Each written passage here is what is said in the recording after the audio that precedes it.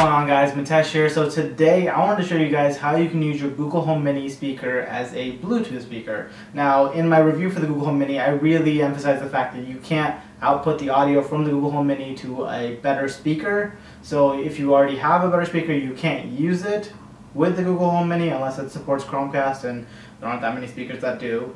But one thing I forgot to mention was the fact that you can use it as a speaker. Um, I believe I did mention the fact that you can Chromecast, you can send audio to it using the casting, but I didn't mention the fact that you can actually connect to it using Bluetooth. So it's really easy to do, um, and I'm going to show you guys how to do it. So the first thing is to ask Google to turn on the Bluetooth. So that's easy.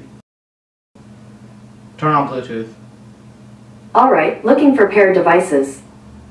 So there you go, it tells you what it's doing. So I don't have the paired yet, so I'm going to go into my pairing menu in Bluetooth and I see it right Cannot connect to Bluetooth. Please try again later or connect via the Bluetooth settings page for It's a little device. impatient, but I just connected if you heard that little ding.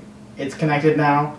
So let me go ahead and show you guys. So I have a YouTube video loaded up here and now that I play it, 6.0. it acts as a Bluetooth speaker. It's so been six years almost. This is insane. And this you can actually, it works really well. And it's also really easy to disconnect if you want to stop sending audio. You can just say, turn off Bluetooth.